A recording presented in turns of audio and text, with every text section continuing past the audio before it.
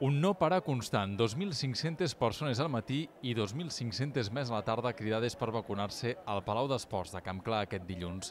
La xifra és molt similar a l'existent i ja tancada per cada jornada fins divendres. La forquilla es mou entre les 4.000 i les 5.000 dosis diàries.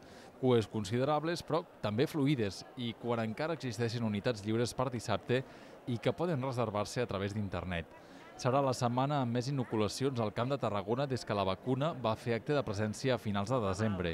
La disponibilitat de material respon de manera satisfactòria al target més elevat del país.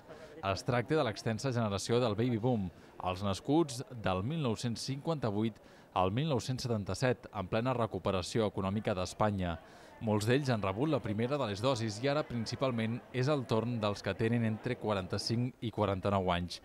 Això provoca també que s'incrementi el nombre de personal habilitat a fi d'evitar esperes. El treballar no es va millor perquè estem més distretes i sobretot perquè no sentim que la feina està fluint i, i bueno, que la gent està sentint-se vacunada. Hem de reforçar també la informació de dir-los que estar vacunats no vol dir res més que estem vacunats, que hem de continuar, en principi, amb totes les mesures. Pfizer és l'hegemònica aquesta setmana, tot i que també subministrarà Moderna dijous a persones d'entre 50 i 59 anys i AstraZeneca a treballadors i treballadores essencials que completaran la pauta dissabte al matí.